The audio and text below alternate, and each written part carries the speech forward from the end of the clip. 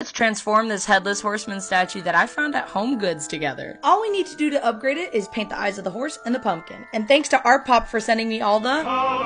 Except today we're just gonna be using white.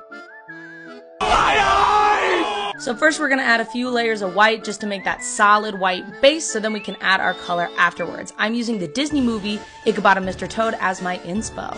You looked into my eyes. Also, I feel like no one knows about the movie Ichabod and Mr. Toad. Like everyone knows the ride Mr. Toad at Disneyland, but every time I bring up this movie, no one knows. You guys got Disney Plus, people. No excuses. But anyway, here's the final product. It turned out so great. If you decide to do this at home, tag me at Adventure Analisa. I want to see your art too.